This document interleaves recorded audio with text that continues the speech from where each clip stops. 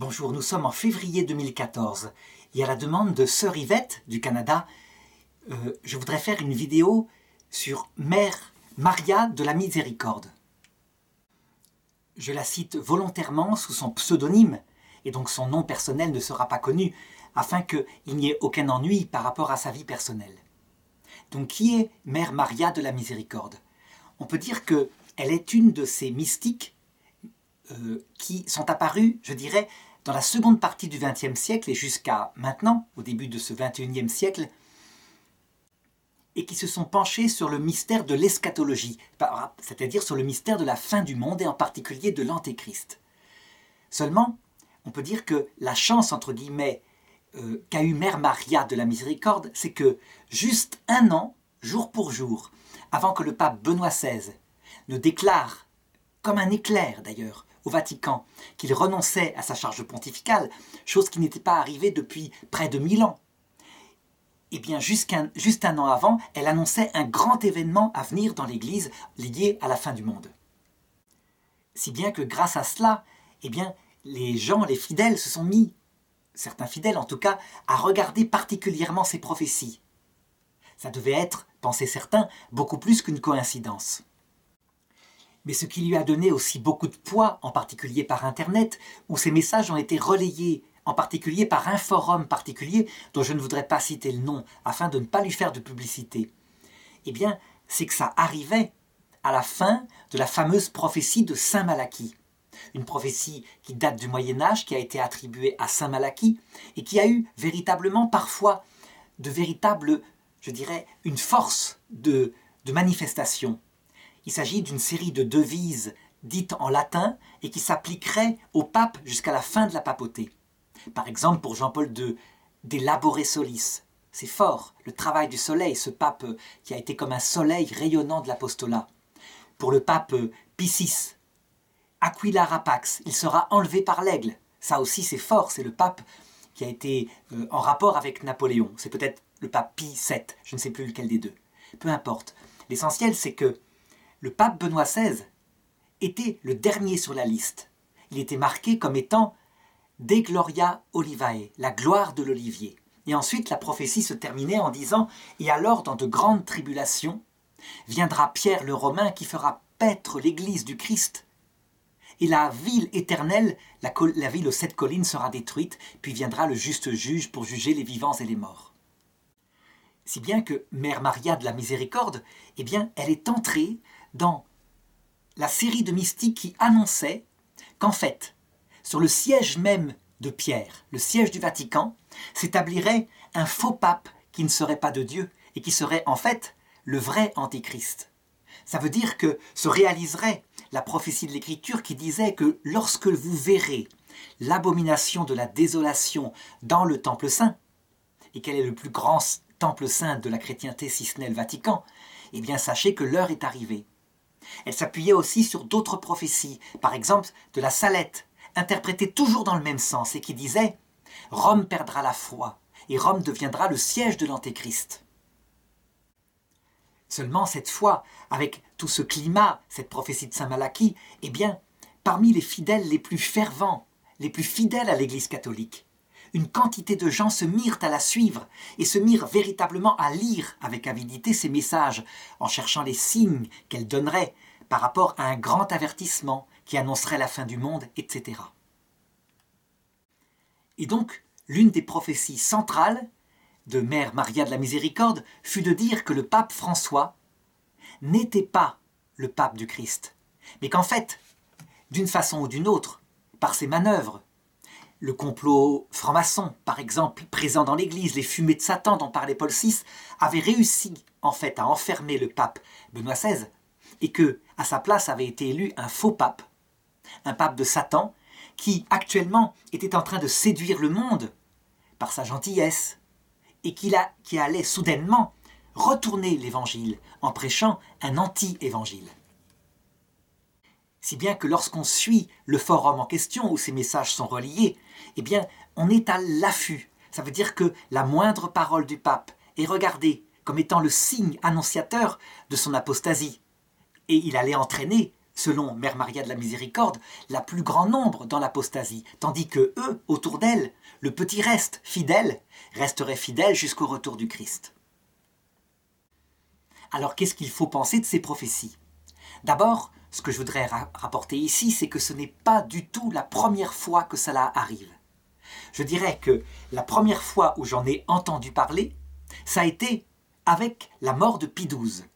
Ça veut dire que toute une partie de l'Église, qu'on appelle sédévacantiste, a annoncé que le successeur de Pie XII, le pape Jean XXIII, celui qui a ouvert le Concile Vatican II, n'était pas le vrai pape, qu'il avait été destitué de la, de la part de la Vierge Marie elle-même, parce que Pie XII n'avait pas obéi au message de Fatima, n'avait pas consacré la Russie explicitement comme elle le voulait au cœur immaculé de Marie. À partir de cette époque-là, c'était d'ailleurs réalisé une première théorie du complot. Lucie, la sœur de Fatima, était dans les photos légèrement différente. Son profil ne ressemblait peut-être pas sur une photo particulière, si bien que il se répandit parmi les chrétiens l'idée que le pape, lui-même, le faux pape en fait, avait fait enlever, peut-être exécuter, la vraie Lucie de Fatima, et qu'à la place avait été mis une sosie. Alors, on se dit, mais ce message, ce genre de message doit être évidemment dans un tout petit groupe. Eh bien, pas du tout. Ça s'est répandu. Ça a été une théorie du complot qui s'est répandue et qui a fondé l'Église sédévacantiste. Donc il n'y a plus de pape sur le siège de Pierre. Alors on pourrait dire c'est particulier. Là effectivement Jean XXIII fait le Concile Vatican II. Il y a eu toute une épreuve dans l'Église après. Eh bien ça a continué. J'ai été en contact personnellement sur Internet avec une personne qui, depuis la disparition de Paul VI, à cause d'une révélation personnelle reçue à la Salette, affirme que Paul VI est vivant, qu'il est séquestré et qu'il reviendra, et que tous les papes qui ont suivi Paul VI sont des faux papes. Donc lui, évidemment, son cas est assez unique. Rester fidèle comme ça à une telle théorie du complot est particulier, parce que Paul VI, actuellement, il aurait plus de 100 ans. Et ça a continué, donc on connaît les théories du complot sur la mort de Jean-Paul Ier, assassiné par un groupe franc-maçon, etc., parce qu'il aurait voulu ne pas nommer certaines personnes évêques. Et puis, c'est arrivé aussi pour Jean-Paul II. Seulement, lorsque Jean-Paul II est mort, là, de fait, j'étais adulte. Et donc j'ai vu surgir la même prophétie exactement. À savoir que le prochain pape, celui qui suivrait Jean-Paul II, ne serait pas de Dieu, et je me rappelle, on peut les retrouver sur Internet, avoir fait exactement la même vidéo en expliquant que cette hypothèse était absolument impossible, qu'elle sortait de la possibilité même qu'on appelle le dogme de la foi catholique. Je vais l'expliquer tout à l'heure. Donc évidemment, chance extraordinaire, Benoît XVI, le propre bras droit de Jean-Paul II, est élu pape. Et donc il n'y a aucun doute. Donc cette histoire disparaît un peu, elle reste tout de même dans le cœur de certains. Et puis voilà que le pape Benoît XVI, après moins de dix ans d'apostolat, décide de renoncer à la papauté. On aurait pu se dire ici, c'est fantastique, quel, quel choix intelligent de sa part puisqu'il va être vivant. Et donc, euh, à la fin de la prophétie de Saint Malachie, sa présence auprès du nouveau pape François va être l'attestation que le pape François est le vrai pape de Dieu. Eh bien, pas du tout. Arrive à ce moment-là toute une série de prophètes, dont les anciennes qui avaient prophétisé quelques années plus tôt que le successeur de Jean-Paul II ne serait pas le vrai pape, qui ont repris. Et elles ont trouvé un écho extraordinaire sur Internet. Donc Sœur Yvette m'écrit en me disant qu'elle constate au Canada que toute une série de personnes ferventes qui prient Marie, qui s'attachent au, au magistère de l'Église, qui d'autre part ont un culte extraordinaire pour l'Eucharistie, donc ils sont fidèles aux trois blancheurs qu'avait indiqué Saint Jean Bosco.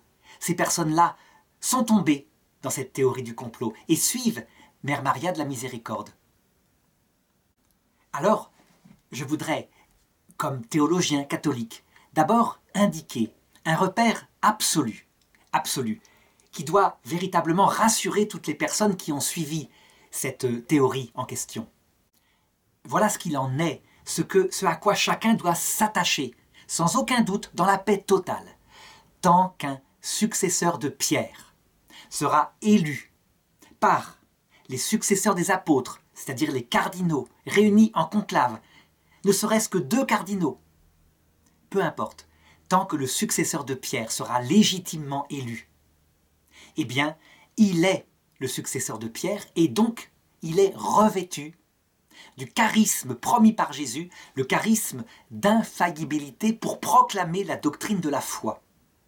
Attention, ce charisme d'infaillibilité ne protège pas la sainteté de cet homme qui prend la place du successeur de Pierre, à savoir euh, notre pape François. Du tout, il peut être un pécheur, il a des défauts, des qualités pastorales. Non, c'est juste ce point-là. Tant qu'il sera élu successeur de Pierre, quelqu'un, par les successeurs des apôtres, il ne peut pas proclamer comme étant la foi autre chose que la foi. Il peut prendre des décisions pastorales qui sont pas très intelligentes, ça arrive. Il peut, de sa part, comme très théologien personnel, dire des bêtises, mais tant qu'il proclame la foi, il est protégé.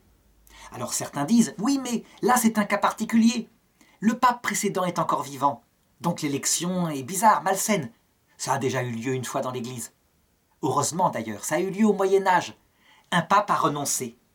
Et donc l'élection, la suite, a été valide. Mais il y a eu pire au Moyen Âge. Il y a eu le grand schisme d'Occident. Ça veut dire qu'à un moment donné, il y a eu deux papes. Et chacun avait leur saint. Deux papes qui étaient en opposition, un à Avignon, un en Italie. Du coup, un concile a décidé de régler le problème, a déposé des deux papes, on a mis un troisième qui a voulu rester, les deux autres aussi, il y a eu trois papes. Finalement, les trois ont été déposés et c'est un quatrième qui a été le pape. Eh bien, ces trois papes, ces deux papes un peu avant, étaient revêtus tous les deux du charisme d'infaillibilité. Sainte Catherine de Sienne était avec l'un d'eux, Saint Vincent Ferrier avec l'autre. Et aucun n'a dit d'erreur de la foi. Tous ont proclamé la foi catholique. Ça veut dire quoi? Puisqu'il y a eu des situations pires que maintenant, le charisme promis par le Christ. J'ai prié pour que ta foi ne défaille pas, dit-il à Pierre, quand tu seras revenu de ta trahison. Ce qui veut dire c'est pas sa foi personnelle, c'est son charisme de proclamation de la foi. Confirme tes frères dans la foi. Ça, ça reste valable à jamais. Et c'est valable même si, je dirais, même si, par, euh, par hasard, imaginons, un âne parlant était élu pape. Et je le prouve. On a l'exemple de ce que c'est que ce charisme dans l'évangile selon Saint Jean. À un moment donné, le grand prêtre Caïphe commence à dire à ses frères pharisiens et, prêtres du temple Vous n'y entendez rien. Ne comprenez-vous pas qu'il vaut mieux qu'un homme meure plutôt que le monde entier, le peuple tout entier? Évidemment, la parole de Caïphe, grand prêtre cette année-là, veut dire simplement Zigouillons Jésus. Comme ça, on sauvera le peuple des Romains. Mais Saint Jean, lui, il regarde la signification de ces paroles au point de vue du salut. Il prononça ces paroles, dit-il, parce qu'il était grand prêtre cette année-là, et qu'il fallait que quelqu'un proclame que Jésus devait donner sa vie pour le monde entier. C'est ça le charisme d'infaillibilité. C'est donc indépendamment du cœur de Caïphe qui était en l'occurrence quelqu'un d'extrêmement dur et haineux envers Jésus. Donc, conclusion, pour tous ceux qui sont catholiques, et qui sont attachés à la prophétie de Saint Malachie, le pape François est le pape. Il ne faut pas être à l'affût de la moindre possibilité d'erreur, il est revêtu du charisme d'infaillibilité, et c'est comme ça.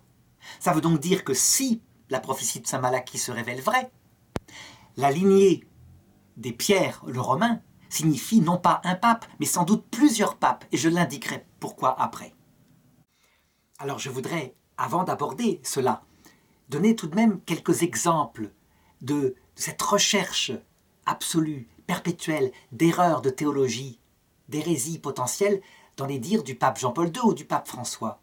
Par exemple, quand Jean-Paul II, sans arrêt, parle des droits de l'homme. Certains interprètent, puisqu'il y a toute une théorie du complot, que c'est le signe que la pensée franc-maçonne est entrée dans l'Église. Eh bien, ils font une erreur. C'est plutôt la pensée franc-maçonne qui a pris une part de la pensée de Jésus et qui a retiré la partie divine pour en faire un humanisme athée.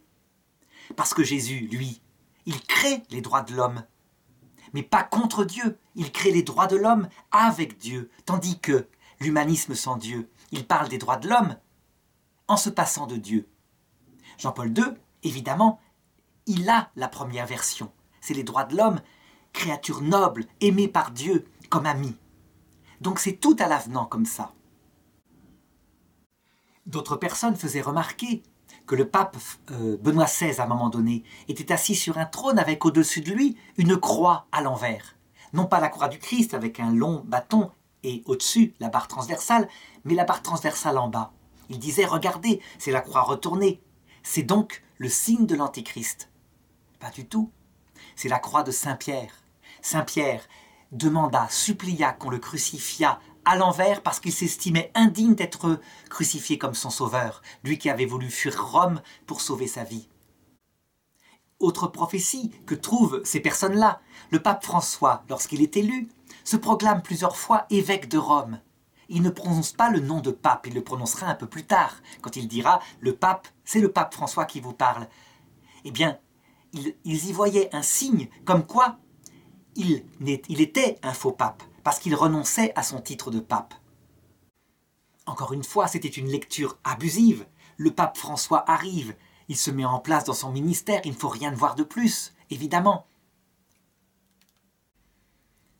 Et ces personnes-là, pour montrer le trouble qui les prenait à l'intérieur du cœur, ne voyaient donc pas l'essentiel, à savoir que il avait d'abord consacré son apostolat, son pontificat à la Vierge Marie. Bizarre, tout de même pour un antichrist. De toute cette recherche passionnée de phrases tirées de leur contexte, etc., qu'est-ce qu'il en est sorti à partir des prophéties de Mère Maria de la Miséricorde? Un cœur agité, inquiet, une paix des familles brisée, parfois même des couples qui divorçaient. On a été jusqu'à voir des personnes qui prenaient les fameuses prophéties comme quoi il faudrait bientôt avoir un refuge parce que viendraient des catastrophes, qui le prenaient matériellement, alors qu'en fait, ces prophéties qui sont chrétiennes signifient le refuge absolu face aux démons, qui est la prière, l'unité aux trois blancheurs, la Vierge Marie, l'Eucharistie, le pape. Quelle erreur tragique d'interprétation, d'autant plus qu'une personne qui venait discuter sur le forum, qui était canadienne, n'écoutait pas cette simple interprétation évidente. Il s'agit du salut éternel. Il ne s'agit pas de se faire un refuge sous terre avec des boîtes de conserve. Et elle quitta sa famille pour un abri souterrain dans une montagne particulière. Alors, comment échapper à cette chose qui enlève la paix, qui éloigne de la vraie religion, qui est paix, joie dans l'Esprit Saint? Eh bien, première chose, il faut comprendre qu'il y a une mauvaise interprétation d'une prophétie qui est réelle une mauvaise interprétation par Mère Maria de la Miséricorde, mais d'autres mystiques du même genre. Effectivement, il est clair que l'Écriture annonce, par exemple dans le chapitre 21 de Saint Jean, sous la forme de Pierre et Jean, que l'Écriture annonce un martyr final de la papauté. Le texte, évidemment, en clair s'adresse à Pierre et à Jean, mais très évidemment, il signifie l'Église visible hiérarchique symbolisée par Pierre, et d'autre part l'Église de la prière, celle des fidèles qui prient dans leur cœur. Et donc Jésus dit à Pierre, Quand tu étais jeune, tu mettais toi-même ta ceinture et tu allais là où tu voulais. Quand tu seras vieux, un autre te mettra ta ceinture et t'emmènera là où tu ne voudrais pas. Et Saint Jean commente en disant, il indiquait ainsi par quel genre de mort Pierre devait glorifier Dieu. Alors Pierre, voyant derrière lui le disciple que Jésus aimait, dit au Seigneur, et lui, Seigneur Et Jésus lui répondit, S'il me plaît qu'il demeure jusqu'à ce que je revienne, que t'importe Toi, suis-moi. Et le bruit se répandit parmi les disciples que ce disciple, Jean, ne devait pas mourir. Mais Jésus n'avait pas dit ça, il avait juste dit, dit l'Évangile, S'il me plaît qu'il demeure jusqu'à ce que je vienne. Appliqué au sens littéral, Pierre est mort martyr à Rome crucifié comme son Seigneur, il a témoigné dans son sang. Et Jean, lui, il est mort dans son lit, à Éphèse. Le Christ, un soir sans doute, lui est apparu, est venu le chercher et l'a emmené dans la gloire éternelle, sans qu'il ait besoin du martyr. Appliqué au sens allégorique à l'Église, ça signifie que vers la fin du monde, la papauté, l'Église visible, disons, suivra le Christ dans son martyr sanglant, d'une manière ou d'une autre, tandis que jusqu'à la fin du monde, il restera une Église priante, invisible, un peu d'ailleurs comme ça s'est passé en Union soviétique, à l'époque de Staline, où le clergé catholique a été détruit martyrisés, exterminés, mais que toujours, les grands-mères en particulier, les matushkas, restaient fidèles à leur foi dans le secret de leur cœur et le communiquaient à leurs petits-enfants. C'est une parabole, cette URSS, de ce que vivra l'Église dans sa totalité vers la fin du monde. On peut même dire que le troisième secret de Fatima ne fait qu'annoncer la même chose, à savoir cet homme en blanc qui monte une colline accompagné de clercs, de fidèles, et des gens lui tirent dessus avec des flèches, des arcs, des revolvers, et il meurt, et les anges récupèrent leur sang dans des coupes d'or et les montent vers le ciel. Eh bien, ça signifie ce martyr final de la papauté. Mais il faut être clair, c'est un martyr clair, visible. Je veux dire par là qu'il n'y a pas d'ambiguïté. L'idée d'un espèce de complot sournois où un pape qui ne serait pas pape viendrait à la place et ce serait en fait l'antichrist est une erreur d'interprétation. Le vrai antichrist, il se donne certes les attributs du pape. Il se proclamera parole éternelle du Dieu vivant, vérité suprême, organisateur des fêtes et des réjouissances sur terre. Mais c'est quelque chose de réel qui se réalisera à la fin du monde et que décrit 2 Thessaloniciens chapitre 2. Il s'agit d'une religion nouvelle, dont le culte n'est pas l'amour de Dieu poussé jusqu'à l'humilité, jusqu'à l'oubli de soi-même et l'amour du prochain, mais au contraire, l'amour de soi exalté. Il n'y a pas d'erreur possible. On ne peut pas se tromper. De même qu'il est impossible, par exemple, de confondre le magistère des gouvernements actuels en Europe, au Canada, qui prônent un humanisme athée, avec les conséquences, théorie du genre, etc. Il n'est pas possible de le confondre avec la pensée de l'Église. Les choses sont absolument nettes. Donc, toute idée de complot sournois comme ça est aberrant. L'Antichrist, quand il viendra, c'est clair, c'est pas l'Évangile, et ceux qui seront restés fidèles aux trois blancheurs, eh bien, ils n'auront aucune difficulté à repérer qui il est. La deuxième chose à faire, c'est de se former véritablement, théologiquement, à l'eschatologie. Ça veut dire la théologie de la fin du monde. L'eschatologie, elle a une autre partie, la théologie de notre fin individuelle. Mais là, en l'occurrence, il s'agit de la fin du monde, en sachant que cette théologie est la plus dangereuse qui soit, sauf si on lit très précisément le catéchisme de l'Église catholique numéro 675, 676, 677, qu'en est la clé? À savoir que la fin du monde se passera non pas par une victoire extérieure visible de l'Église, mais par le fait que l'Église suivra le Christ dans le même chemin qu'il a suivi à la croix.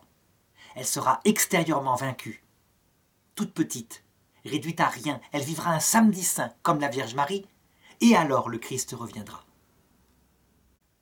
En lisant ça, on échappe, je dirais, au danger du millénarisme, l'idée d'une puissante Église qui reviendrait. Par contre, on n'échappe pas au danger de se croire ce petit reste, cette Église de la Vierge Marie, alors que l'Église catholique du pape François serait l'Antichrist. C'est le deuxième danger. Donc pour échapper à ce deuxième danger, en l'occurrence celui qui est visé par cette vidéo, il faut s'accrocher de tout l'acte de sa foi au fait qu'un pape élu, normalement, est le pape du Christ, il est revêtu du charisme d'infaillibilité. Encore une chose importante, pour sortir de cette agitation perpétuelle que Saint Paul déjà avait repérée de son temps, des personnes qui ne se mariaient plus, parce que la fin du monde allait venir dans quelques jours. Il faut bien se dire que au-delà de l'évidence, puisque je sais qu'on va m'opposer des tas de prophéties. La fin du monde, au sens universel, ne peut pas être pour notre époque. Et là, tout de suite, évidemment, j'entends des personnes dire, mais ce n'est pas possible. La Vierge ne cesse d'annoncer la fin du monde pour notre époque depuis, je dirais, le secret de Fatima, voici la fin des fins, le temps des temps. D'abord, il faut se souvenir que le secret de Fatima, pardon, de la Salette, non pas Fatima, mais la Salette, la fin des fins, le temps des temps, il a été prononcé il y a plus de 150 ans. Ça veut dire que si des gens de l'époque disaient je vais voir la fin du monde puisque le secret a été publié, ben ils ne l'ont pas vu. En réalité, c'est plus compliqué que ça. En réalité, ils l'ont vu. Ils ont vu la fin du monde. mais pas selon le sens que les personnes imaginent en lisant la lettre du secret de Fatima, selon le sens habituel de Dieu dans les textes apocalyptiques. Textes qui sont les mêmes dans l'Évangile. Cette génération ne passera pas avant que tout ne soit réalisé, à savoir le retour du Christ, etc. Est-ce que ça veut dire que le Christ ment à chaque génération en donnant les mêmes prophéties? Parce que c'est pas la première fois. Saint Vincent Ferrier, par exemple, au Moyen Âge, au moment du grand schisme d'Occident, va dans une paroisse de France et se met à prêcher, malgré l'interdiction du pape, que la fin du monde est pour maintenant. Et une femme qui est là dit euh, Ce n'est pas possible, ça ne peut pas arriver maintenant. Euh, d'ailleurs, euh, le pape interdit de prêcher comme ça. Alors Saint Vincent Ferrier demande à tous les fidèles qui écoutaient sa prédication de sortir avec lui et ils se rendent au cimetière. Il demande de choisir une tombe. On choisit la tombe d'une femme qui est morte depuis plus d'un an. Il fait ouvrir le cercueil, il trace un signe de croix, la femme se réveille et il lui demande Est-ce vrai que la fin du monde est pour notre génération? Et la femme répond Oui, père, c'est vrai, j'en témoigne. Et ensuite il lui demande Est-ce que tu veux rester ici ou est-ce que tu veux retourner là-haut? Et elle décide de repartir. Saint Vincent Ferrier a été annoncé, a été canonisé comme l'ange de l'Apocalypse qui crie Plus de délai, la fin du monde arrive. Et pourtant la fin du monde n'est pas arrivée. Eh bien si elle est arrivée. Parce que la fin du monde, les textes qui s'appliquent à elle, ont trois sens. Le premier valable à chaque génération, à savoir notre mort individuelle. Ça veut dire que tous ceux qui écoutent cette vidéo, dans moins de 100 ans, je dirais même dans moins de 80 ans, tous auront vu le retour du Christ dans sa gloire à l'heure de la mort.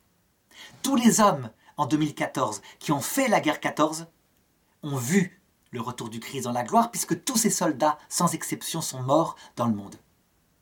Deuxième sens, ça indique la fin des générations qui arrive toujours à peu près 100 ans après sa naissance, puisque tout le monde meurt. Et enfin, le troisième sens, le seul qui intéresse celui qui rend fou les gens, celui de la fin des fins.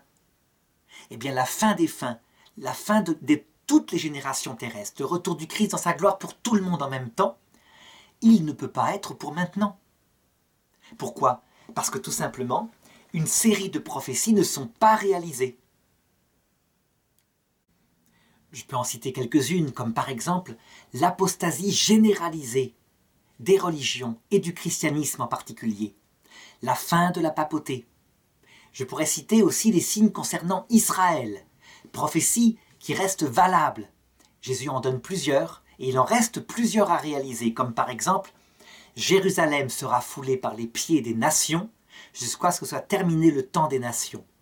Le pape Jean-Paul II commentait en disant c'est une prophétie matérielle qui annonce que ça se réalisera en même temps que la fin des nations organisées comme nations, France, Belgique, etc.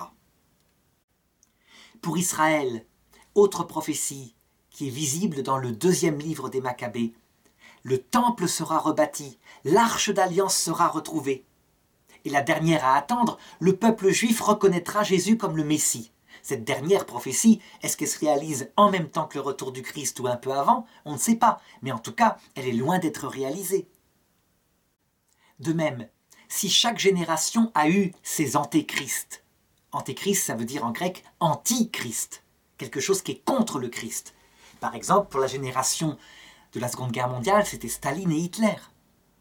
Si pour la nôtre, l'antichrist, l'antéchrist, c'est, je dirais, l'humanisme athée, l'hédonisme avec ses conséquences actuelles. Le dernier antéchrist, lui, il est décrit par Saint Paul dans 2 Thessaloniciens chapitre 2. Ce n'est pas un athéisme, c'est une religion de quelqu'un qui se posera comme étant Dieu. Quelqu'un qui établira sur terre le mystère de l'iniquité. Ça veut dire le mystère de la première révolte de Lucifer, qui proposera sur terre, en fait, la sagesse éternelle de l'enfer. Vous serez comme des dieux dit Lucifer à Adam et Ève, vous serez celui qui choisira le bien et le mal. Vos yeux s'ouvriront, et si Dieu, le faux Dieu, ne veut pas cela, celui qui vous prêchait depuis des siècles l'humilité et l'amour, c'est parce qu'il voulait vous dominer. Eh ben, cette religion-là, elle est loin d'être établie sur terre mondialement. Les religions n'ont jamais été aussi puissantes, y compris le catholicisme. Et ce n'est pas parce que les pays occidentaux, l'Europe, le Canada, sont en phase d'apostasie que c'est le cas dans le reste du monde, bien au contraire. Si on suit Marthe Robin, et ça peut donner un peu d'espoir, le père Yves Bonnet le disait récemment, elle avait annoncé explicitement un printemps, un renouveau puissant qui viendrait, et qui viendrait bientôt. Ce renouveau puissant, visible, pas seulement qualitatif, mais quantitatif aussi. Eh bien, s'il vient, il sera la réalisation probable de ce qui s'est passé avec Jésus. Par exemple, lorsqu'il est monté à Jérusalem et que les gens l'ont acclamé comme roi en mettant leur manteau sur la route devant son âne. C'est pas réalisé. Donc, il faut absolument sortir de cet énervement, de cette excitation venant de ces fausses prophéties, pour se réintérioriser, en sachant que, avant la fin du monde, il doit y avoir une petite église de Marie, tout en humilité, en prière, en fidélité, quoi qu'il arrive, qui devra imiter la Vierge Marie le samedi saint. La Vierge Marie ne s'excitait pas en courant à droite à gauche pour chercher où était le démon. Non, elle priait simplement parce qu'elle était absolument certaine que, trois jours plus tard, son fils ressusciterait et sauverait le monde. Eh bien, lorsque viendra la dernière génération de chrétiens au monde, lorsqu'il n'y aura plus d'Eucharistie, plus de pape, que les signes seront réalisés, cette génération devra se comporter comme la Vierge Marie, paisiblement, en sachant que tout ce qu'arrive, l'apostasie, etc., est permis par Dieu, évidemment pour un plus grand salut. Et c'est quoi le salut? Ben C'est qu'en fait, comme dit Saint Paul, Dieu permettra que l'humanité entière, sauf quelques-uns, tombe dans la désobéissance, afin de leur faire miséricorde. Vive un certain temps de l'enfer sur terre au sens le confort extérieur magnifique, des biens extraordinaires, une vie prolongée, mais une absence du vrai Dieu, donc un désespoir profond, l'enfer, quoi, au sens théologique du terme, afin que lors du retour du Christ, vrai Dieu, vrai homme, avec son humilité et son amour rayonnant, il se précipite vers lui qui donne une eau à boire et on n'a plus jamais soif en demandant pardon de tout leur cœur. C'est ça le retour du Christ, donc c'est source de joie, d'espérance, certainement pas de tristesse, d'agitation, de perte de paix intérieure.